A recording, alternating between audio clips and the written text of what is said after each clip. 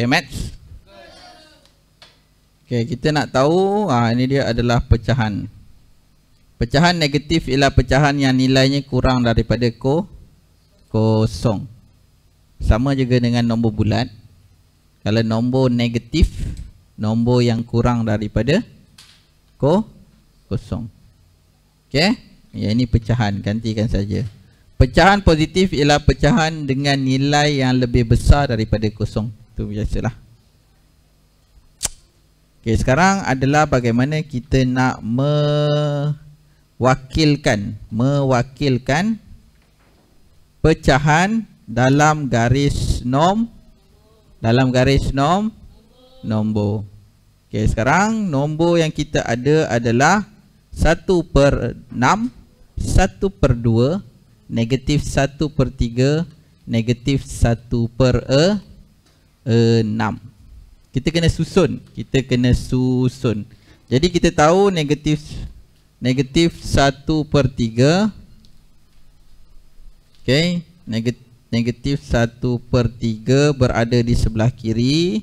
Sebelah kiri ko kosong. Dan juga negatif 1 per 6 juga berada di sebelah kiri ko kosong Manakala 1 per 6 dan juga 1 per 2 berada di sebelah kanan ko kosong. Cuma kita tak tahu di mana kedudukannya.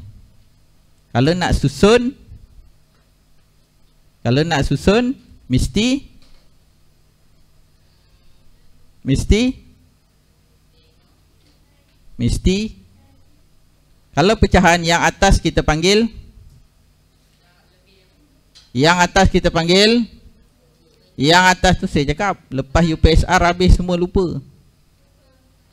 Yang atas kita panggil ha, Yang kamu tuition pagi petang siang malam tu apa? Kamu belajarnya. Yang atas kita panggil Yang bawah kita panggil ha, Saya bukan tanya kelas yang bawah Kamu kelas yang paling atas. Kalau tak tahu tu Teruk no punya Yang bawah kita panggil yang bawah kita panggil penyebut.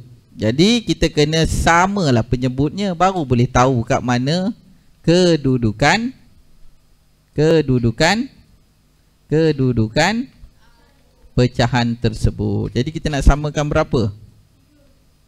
Tiga mana boleh? Enam boleh jadi tiga. Kita samakan paling nombor yang besar. Jadi ini kali tiga kali 2 Kita jadikan 6 sebagai kesamarataan. 3 kali 2 Jadi atas kali 2 2 Jadi sini 2 per 6 Yang ni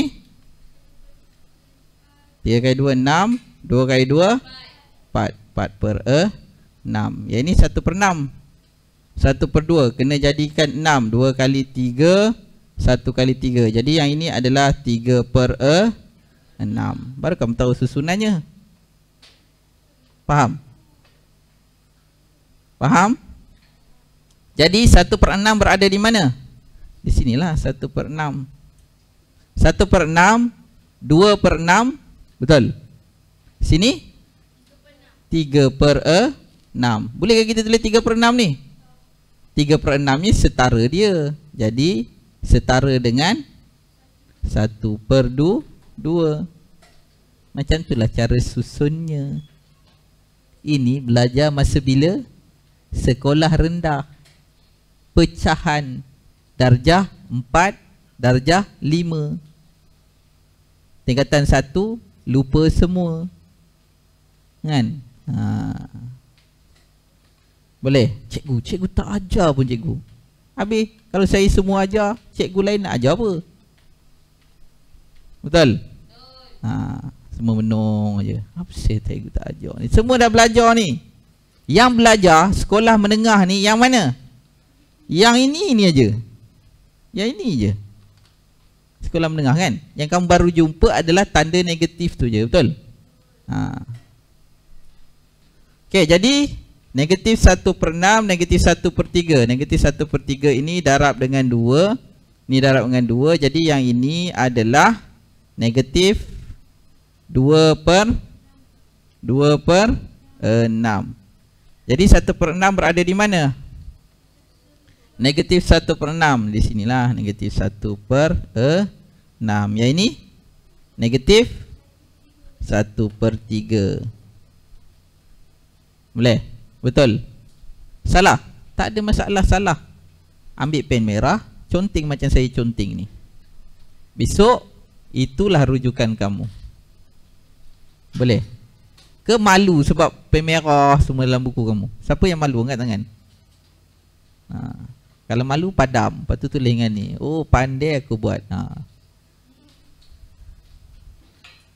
Boleh? Boleh? Boleh?